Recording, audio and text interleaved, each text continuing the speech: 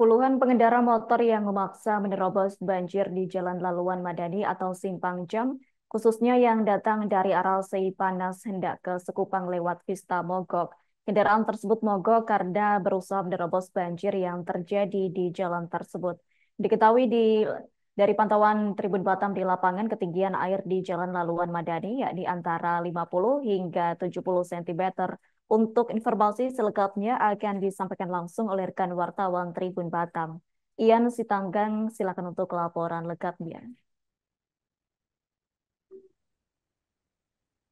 Oke, selamat sore sahabat Tribuners di mana pun berada dan selamat sore rekan Adila di studio.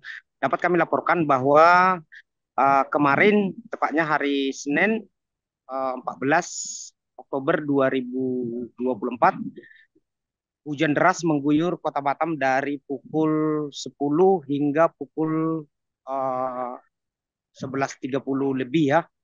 Jadi hujan yang mengguyur eh hujan deras yang mengguyur kota Batam itu mengakibatkan banjir di beberapa titik di kota Batam khususnya di jalan raya ya dan sebagian juga ada juga di di komplek perumahan. Nah, yang kemarin sahabat Tribun kami uh, dapat laporkan di mana kemarin pantauan kami banjir di salah satu titik jalan yakni tepatnya di Jalan Laluan Madani yang ada di Kota Batam atau dulu akrab dikenal dengan Simpang Jam. Nah, untuk banjir di lokasi Simpang Jam ini uh, yang terjadi kemarin itu uh, ketinggian banjir kurang lebih 50 sampai uh, 70 cm ya. Nah, akibat banjir tersebut banyak kendaraan yang berusaha menerobos banjir mogok ya karena memang jalan simpang laluan Madani itu merupakan jalan arteri di Kota Batam yang dilalui oleh pengendara yang datang dari Seipanas menuju Sekupang dan Nagoya dan juga dari Keprimol menuju Nagoya dan Seipanas. Begitu juga sebaliknya. Nah, untuk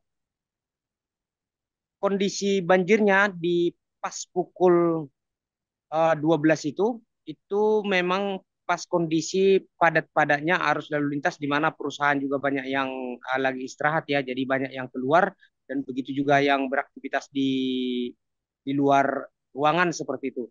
Nah, untuk kemarin itu memang hujannya cukup deras sekali ya, uh, sehingga uh, beberapa titik di Kota Batam terjadi keban, uh, terjadi banjir seperti itu. Nah, untuk banjir di Simpang Laluan Madani sendiri terjadi akibat uh, derasnya hujan dan tidak sanggupnya saluran drainase induk yang ada di di dekat laluan Madani menampung air hujan dan saluran itu sudah penuh. Akhirnya air dari jalan laluan Madani tidak bisa mengalir ke saluran dan jalan banjir seperti itu.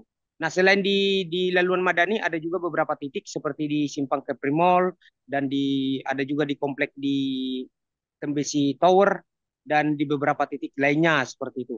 Nah, untuk di Kota Batam sendiri saat ini pemerintah Kota Batam sedang melakukan uh, sedang menggalak-galakkan pembangunan ya. Jadi pembangunan di Kota Batam ini cukup marak. Jadi uh, banyak uh, resapan air yang sudah berubah fungsi jadi perumahan, jadi tempat-tempat yang lain seperti itu. Dan selain itu juga sahabat Tribun dapat kami informasikan bahwa kemarin sore uh, sekretaris daerah Kota Batam Bapak Jepridin langsung melakukan peninjauan ke lapangan ya langsung turun ke lapangan mengecek beberapa titik lokasi banjir dan ke depan pemerintah Kota Batam akan melaksanakan uh, kegiatan untuk normalisasi saluran drainase dan juga sungai-sungai yang ada di Sagulung. Eh, di Kota Batam ini maksud kami. Dan begitu juga untuk eh, lokasi-lokasi uh, saluran yang mampet akan dilakukan. Dan pemerintah Kota Batam juga meminta kepada masyarakat Kota Batam untuk mengaktifkan gotong royong uh, pembersihan saluran di komplek masing-masing. Demikian laporan kami. Kami kembalikan ke rekan Adila di studio. Baik, terima kasih untuk informasi lengkapnya. Silakan bertugas kembali. Download Tribun X sekarang. Menghadirkan lokal menjadi Indonesia.